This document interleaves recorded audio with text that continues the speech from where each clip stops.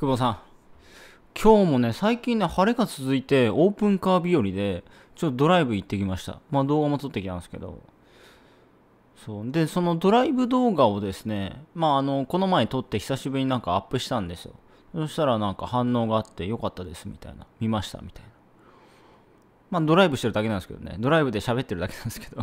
まあ久保さんも車の中からね、動画撮ったりとかしたりすると思うんですけど、まああの、そのこ情報ビジネス、コンテンツビジネス、あの映像コンテンツ、これね、ありがたいことに、どこでもあのボタン押せばね、いけるんですよね。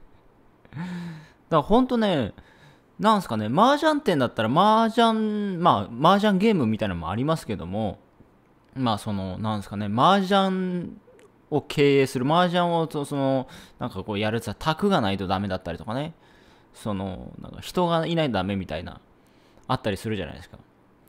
あのコンテンツビジネスはね iPhone スマホあればどこでもできるっていうね。すごい時代になりましたよね。なんか移動しながらでもいくらでもコンテンツが量産できるっていうなんかその普通だったらそのね家に帰ってパソコンの前で仕事みたいなまあね結構昔はそうだったんですけど本当になんかパソコンがないどこでもなんかコンテンツが作れてしまう。すごいですね。だから映像映像ってすごいなと思いますね。うん。そう。いってらっしゃい。